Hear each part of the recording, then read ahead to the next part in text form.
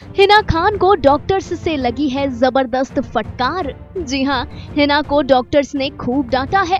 Well ये तो आप लोग जानते ही होंगे कि हिना खान की हुई है ब्रेस्ट कैंसर सर्जरी आज हिना खान की सर्जरी को तीसरा दिन है और आज हिना खान को डिस्चार्ज मिलने की पूरी पूरी संभावना है।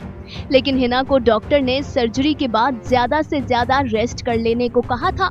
डॉक्टर्स ने कहा था कि हिना को इस वक्त बाकी सभी चीज़ों को छोड़कर सिर्फ़ खुद का ख्याल रखना है, खुद पर ध्यान देना है।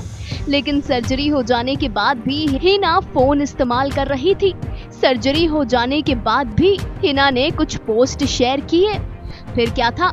हिना को फ़ोन का इस्तेमाल करता देख डॉक्टर्स ने एक्ट्रेस को फटकार लगाई और फ़ोन को एक तरफ़ रख देने को कहा। तभी तो पूरे दो दिन से हिना के सोशल मीडिया अकाउंट पर कोई हलचल नहीं।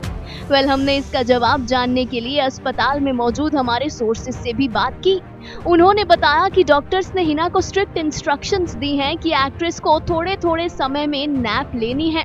जितनी नींद हो सके हिना खान को लेनी है। हमारे सोर्सेज ने बताया कि डॉक्टर्स ने हिना को स्लो वॉक करवाना भी शुरू कर दिया है, ताकि एक्ट्रेस का शरीर पहले की तरह एक्टिव होने लगे।